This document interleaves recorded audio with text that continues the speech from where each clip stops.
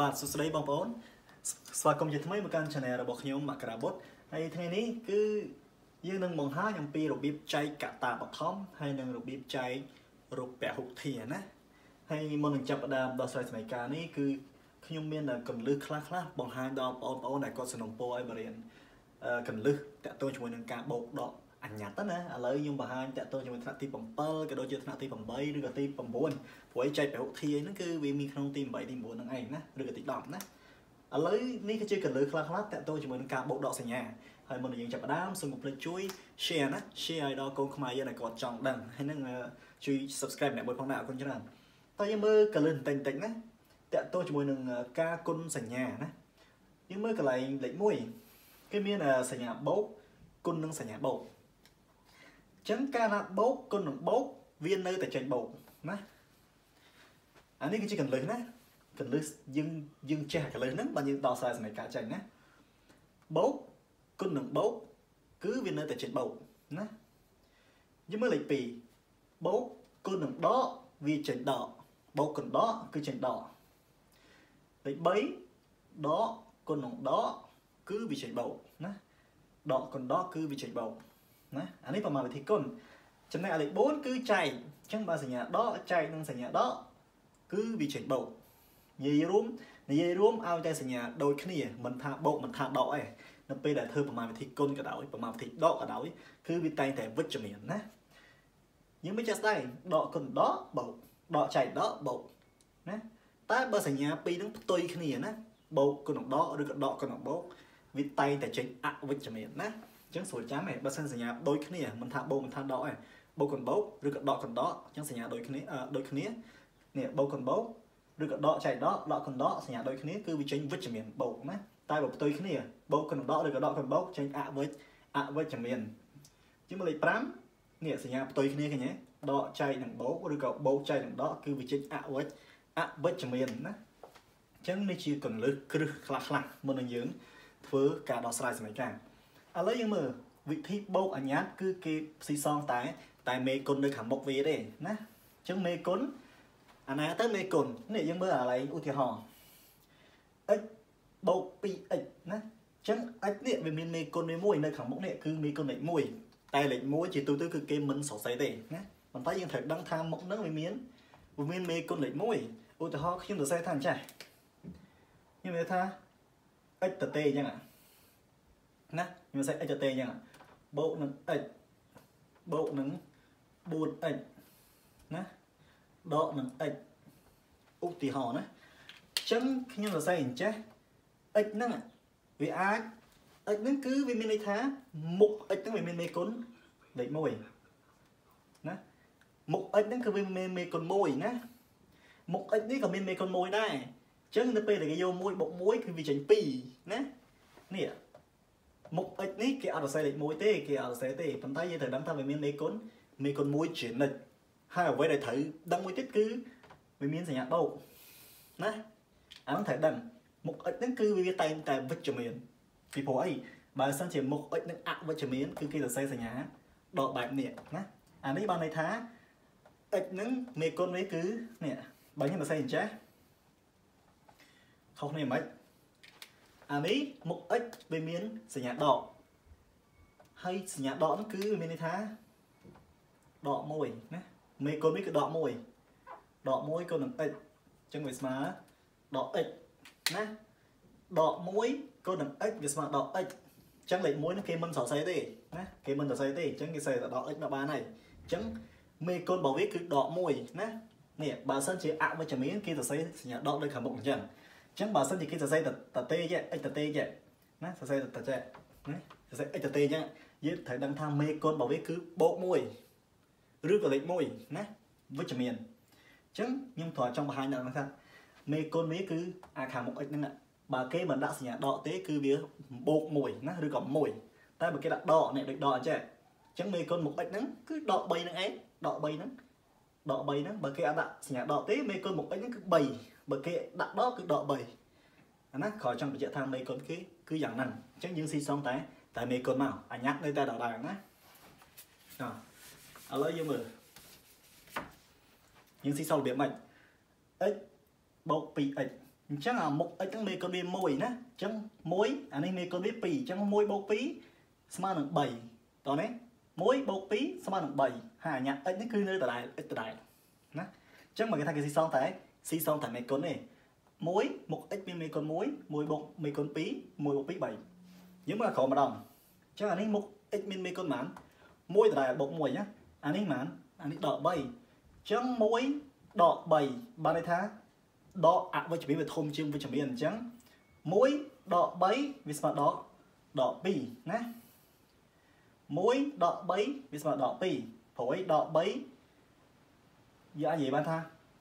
3 ដក1ស្មើ2ប៉ុន្តែសញ្ញាអវិជ្ជមានវាធំជាងអញ្ចឹងត្រូវដាក់ដកណាដក3បូក1ស្មើដកដក2អញ្ចឹងគេស៊ីសងតែតែមេគុណតែប៉ុណ្ណោះអាញាត់នៅតែ x ដដែលណាអានេះប្រមាណវិធីបូកឬក៏ដកឥឡូវមើលប្រមាណវិធីគុណម្ដង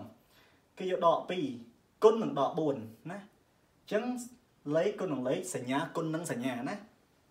នេះអានេះគេយកមេគុណគុណនឹងមេគុណហើយដក2គុណនឹង4ដក4អញ្ចឹង2គុណនឹង4 2គុណនឹង4 8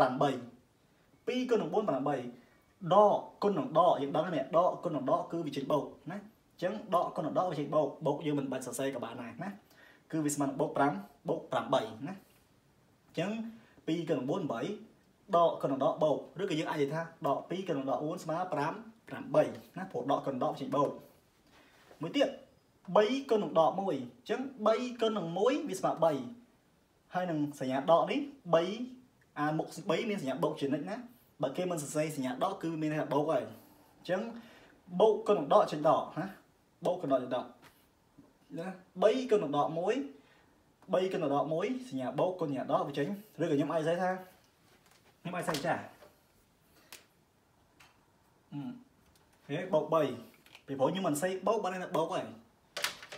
បូក3គុណដក1ស្មើដក3ណាឆ្លាស់សញ្ញាបូកគុណដកចេញដកតោះនេះអញ្ចឹងលេខគុណលេខមកសញ្ញាគុណសញ្ញាអញ្ចឹងអានេះវិធីគុណគុណ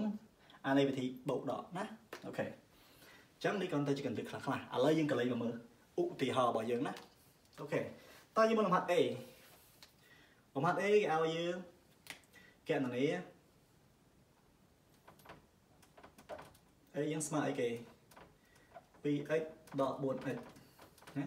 A ស្មើ 2x ដក 4x អញ្ចឹងយើងមើល មេគុណអានេះ2មេគុណអានេះដក4អញ្ចឹងស៊ីសល់នេះមកវាស្មើប៉ុន្មាន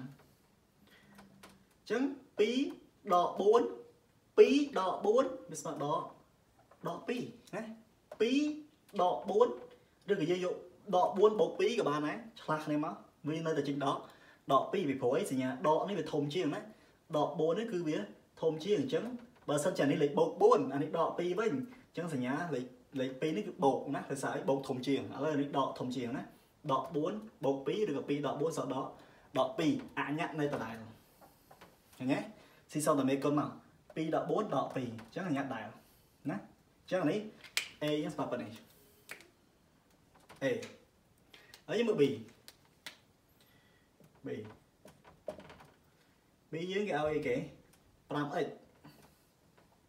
ដក 4x បូក x ស្មើតោះអញ្ចឹងយើងស៊ីសងតែមេគុណមកបានហើយយើងមើលមុខ x មានមេគុណ5ណាអញ្ចឹង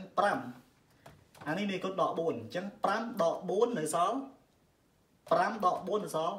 1អានេះមេគុណវាប៉ុន្មាន1ណា5ដក4នៅសល់1 1បូកអានេះមេគុណ1ទៀតនៅសល់សល់2ហ៎មើលឲ្យតណា5ដក4ស៊ីសល់តែមេគុណមកបានហើយ5ដក4 1 1អានេះមេគុណវា1ដែរអញ្ចឹង2អញ្ចឹង2អីគេគឺ2 x ណា x ຕົកដដែលមក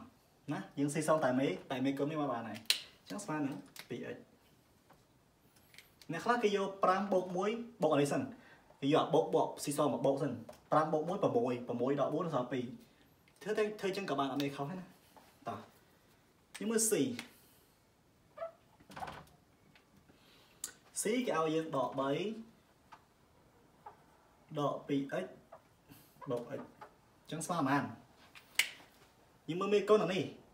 អានេះមេកុនវាប៉ុន្មានដក3ណាដក3ហើយអានេះមេកុនវាប៉ុន្មានដក2ណាដក2អញ្ចឹងយើងយកដក3ដក2មកប៉ុន្មានដក3ដក2បានន័យថាដក3ហើយដក2ទៀតចឹងបើគេដកយើង3ហើយដកថែម2ទៀតវាស្មើស្មើដកប៉ុន្មានចឹងវាស្មើដកដក5ណាតោះនេះអានេះប្រមាណវិធីដកណា ប្រមាណវិធីដកហើយនឹងប្រមាណវិធីបូកអញ្ចឹងប្រមាណវិធីដកនិងប្រមាណវិធីបូកអញ្ចឹងអត់តាក់ទងជាមួយនឹងបូកគុណបូកបូកគុណដកទេអានេះប្រមាណវិធីគុណណាវាប្រែប្រួលសញ្ញាតែនេះជាប្រមាណវិធីបូកដកអញ្ចឹងអត់ប្រែប្រួលសញ្ញាទេ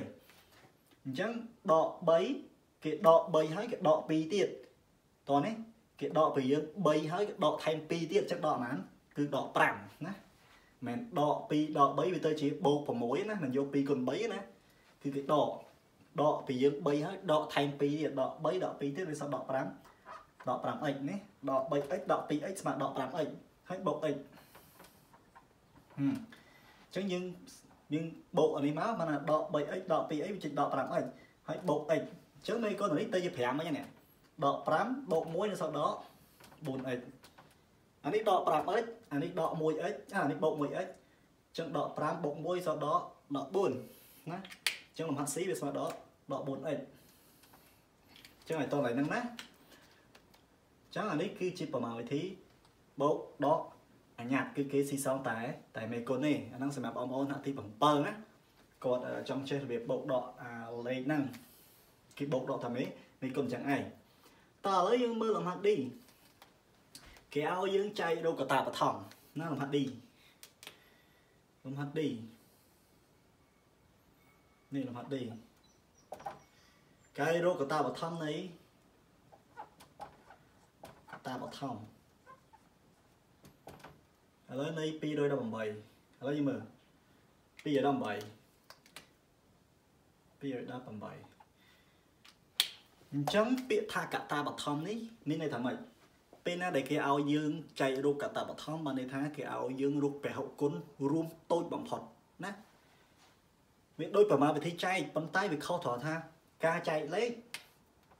យើងមើលប្រមាណវិធីចែកគឺយើងចែកយ៉ាងណាធ្វើឲ្យអាតំណាងអាតំណាងចែកនេះជាមួយនឹងផលថោធូតួចែកនោះធ្វើឲ្យចែកនេះដាច់ណាឬក៏យើងសល់សំណល់មកអីចឹងទៅប៉ុន្តែអានេះមិនមែនចែកឲ្យដាច់ទេយើងចែករូបពហុគុណរួមតូចបំផុតណាអញ្ចឹងយើងចែកនឹងតួណាដែលជាពហុគុណរួមតូចបំផុតអញ្ចឹងអីគេពហុគុណរួមតូចបំផុតហ្នឹងឥឡូវយើងមើល218 វាលេខគូណាបើវាលេខសេះរៀងពិបាកតែលេខគូលេខគូយើងដឹងហើយពហុលេខគូវាចែកដាច់នឹង2ហើយឲ្យតែលេខគូអញ្ចឹងអាពហុគុណរួមតូចបំផុតរបស់វាគឺ2ណាពហុគុណរួមតូចបំផុតរបស់វាគឺ2ហើយបើយើងដាក់មួយមិនទេមួយមួយតូចបំផុតដែរប៉ុន្តែមួយដាក់ត្រូវមួយមួយមួយចំនួនចែកមួយខ្លួនវាដដែលចឹងយើងច្បាច់រហូតទៅអីចឹងយើងអឺសំទោសនិយាយមួយដាក់លេខ1ដាក់លេខ2ណាអូ ខេឥឡូវមកដាក់លេខ2ចឹងបើសិនជាប្រមាណវិធីចែកយើងនេះយើងកាត់ក្បេសមកខ្ទមមកចែកតាមដំណើរទៅតែចែកបងប្រភេទផ្សេងណាចឹងយើងមើលយើងយកទាំងអស់តែម្ដងយើងយក218ចែក2ណាអញ្ចឹង218ចែក2បានប្រហែលណា218ចែក2ប្រហែលយើងចែកធម្មតាមើល218វាអាចចែកបាន100 109ណា109ណា តោះនេះយើងយក218នេះចែក2ណាយើងអាចចែកដាក់ដល់ព្រៀងក៏បានចែកណាក៏បានឲ្យតែចេញប៉ុណ្នេះ218ចែក2វាស្មើនឹង109ណាបើយើងចង់ដឹងយក2គុណនឹង9 18ណា18អេអឺតែ100 200 9ដល់8ថា0 2ក៏9ដល់8 2ក៏0 0 2អញ្ចឹង2ឲ្យ10 18អញ្ចឹងតែតទៀត អញ្ចឹង109ចែកដាច់ប្រមាណយើងដាក់2ទៀតចែកដាច់ទេព្រោះវាជាចំនួនវាជាចំនួនសេះអញ្ចឹងឲ្យដាក់លេខ3ណាលេខ3បើដាក់លេខ3ក៏ចែកដាច់ដែរណាតែបីចាក់ដាច់ឲ្យ109យើងមើលចាក់ដាច់លេខប្រហែលយើងសាកដាក់លេខ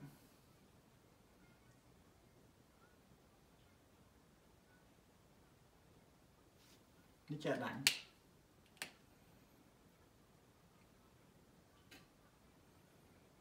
ដាក់លេខ3លេខ3អត់ដាច់ទេលេខ4ក៏ដាច់ដែរលេខ9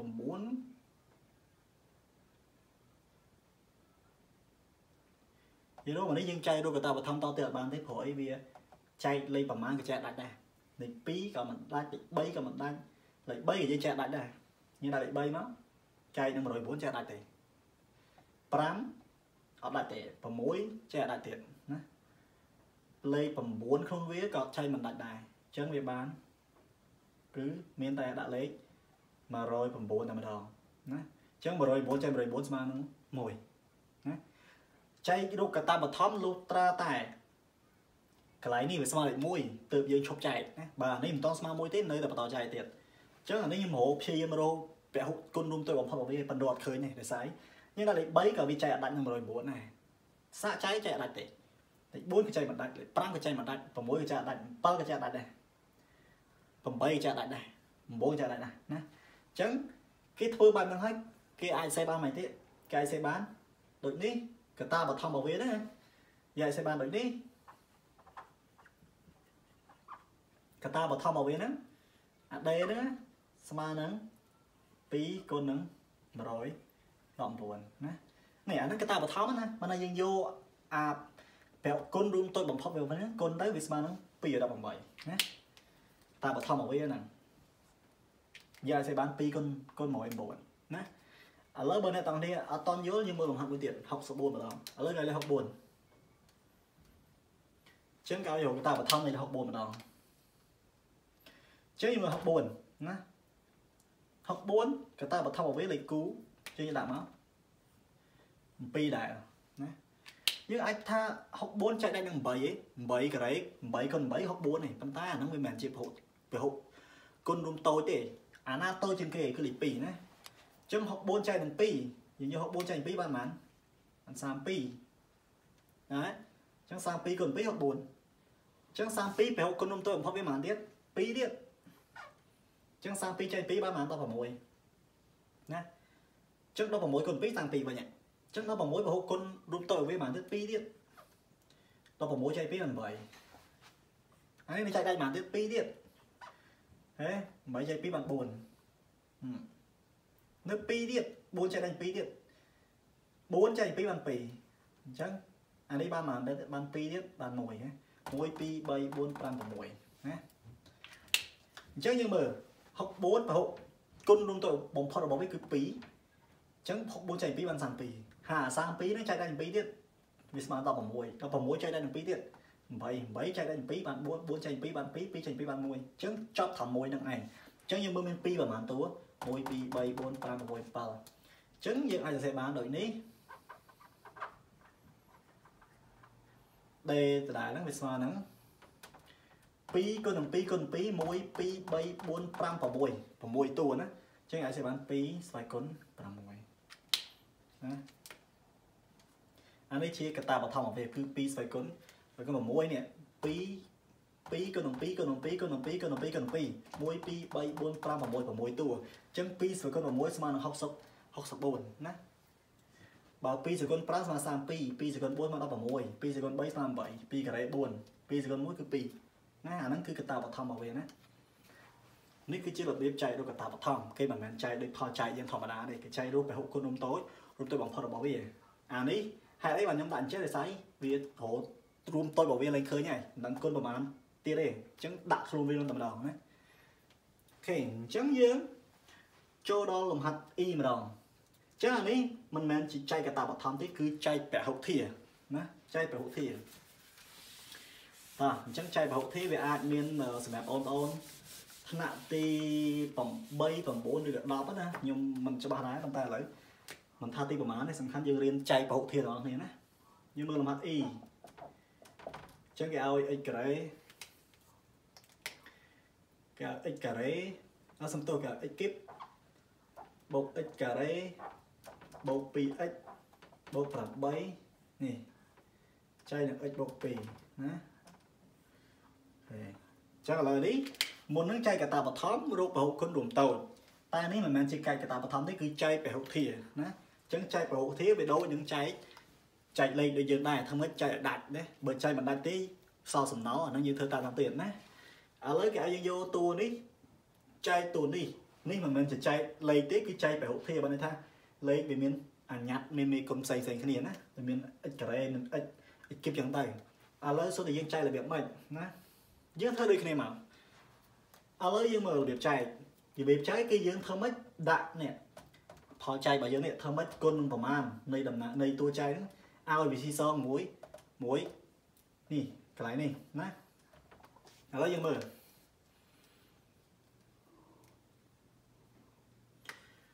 តើយើងគួរដាក់លេខប្រមាណដើម្បីឲ្យខាងនេះចែកដាច់ធម្មតាបើយើងចែក55យើងចែកនឹង5ជាងកាត់វាក្នុងខ្ទង់យើងដាក់ប្រមាណ để ចែកដាច់អានេះជាងគុណ1ត្រូវទេ1គុណ5 5អញ្ចឹង5 1គុណនឹង5 5នេះ1គុណ5 5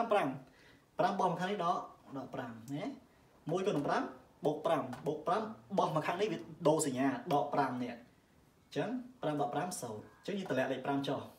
ហេបានប៉ុន្មានទៀតបាន1ដដែលអញ្ចឹង1គុណនឹង5ដក5អាសំទោស1គុណនឹង5បូក5បូក5នឹងបោះមកឆ្លងសញ្ញាលេខដក5អញ្ចឹង5ដក5 0អញ្ចឹង55ស្មើនឹង5គុណ11អញ្ចឹងធ្វើដូចគ្នាអញ្ចឹងធ្វើដូចគ្នាអញ្ចឹង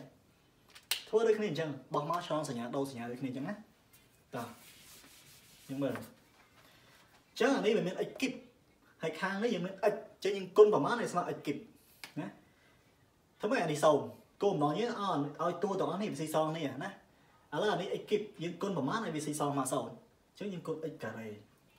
ណាគុណនឹង x ការ៉េ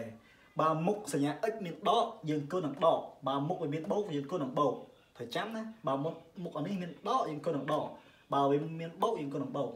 ណាអញ្ចឹងយើងមើលអូខេអញ្ចឹងដាក់ x ការ៉េអញ្ចឹងយើងយក x ការ៉េគុណនឹង x x ការ៉េគុណនឹង x វាស្មើ x គីបណា x ការ៉េគុណនឹង x វាស្មើ x គីប x គីបហ្នឹងវិជ្ជមានឬអវិជ្ជមាន x គីបហ្នឹងគឺវិជ្ជមានសញ្ញាបូកណា x ការ៉េគុណនឹង x x គីបចឹង x គីបបោះមកខាងនេះវាទៅជាដក x ដក x គីបតោះនេះ x ការ៉េគុណនឹង x វាស្មើ x គីប x គីបបោះមកខាងនេះដក x គីបនៅសល់បន្ទូទៀត x ការ៉េគុណនឹងបូក2នេះ x ការ៉េគុណបូក2វាស្មើនឹងបូក 2x ការ៉េ x ការ៉េបូក2 2x ការ៉េបោះមកខាងនេះទៅជាដក 2x ការ៉េតោះនេះ x ការ៉េគុណ x x គីបបោះមកដក x គីប x ការ៉េគុណ2 2x ការ៉េបោះខាងនេះបូក 2x ការ៉េអូខេអ ញ្ចឹងអស់លេខត្រូវគុណអញ្ចឹងយើងស៊ីសមកដាក់មកអញ្ចឹងអានេះស៊ីសបានណាអញ្ចឹងអានេះ x គីបដក x គីបដក x គីប0ណា0ណាអញ្ចឹងអានេះ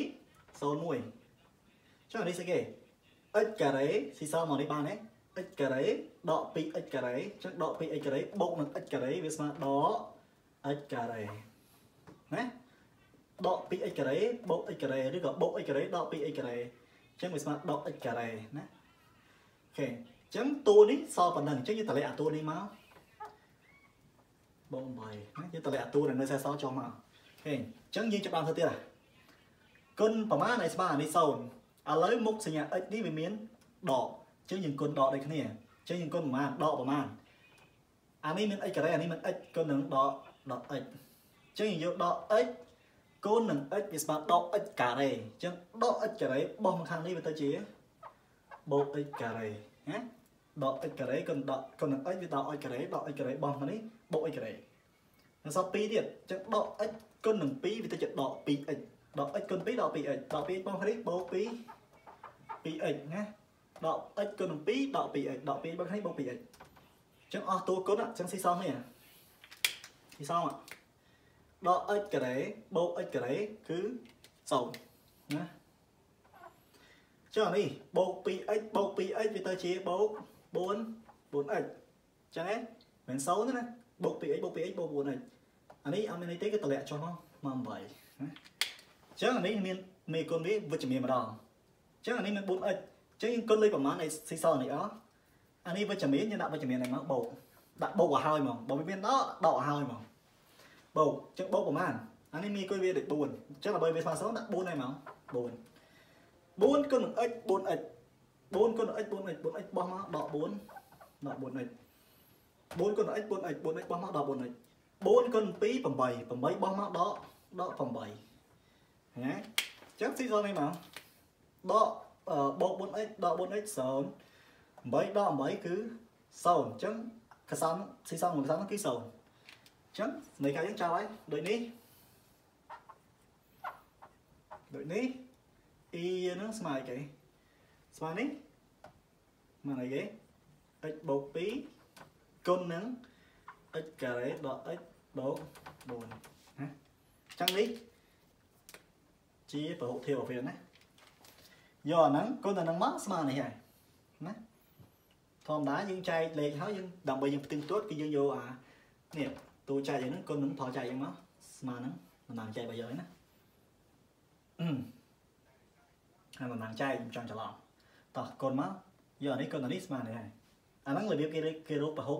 ពហុធាណាយើងចែកលេខមកគឺយើងយកកសោមនេះគុណកសោមនេះមកវាស្មើនេះវិញហើយណាអាហ្នឹងរបៀបផ្ទៀងផ្ទាត់ណាពហុធារបស់វាហើយយើងធ្វើយ៉ាងម៉េចយកអានេះគុណអានេះឲ្យវាស្មើនេះណាសាកគុណមកទៅស្មើនេះវិញហើយ ឥឡូវយើងកុំឲ្យខាត់ពីយើងចូលលំហាត់ចុងក្រោយណានេះលំហាត់លេខ2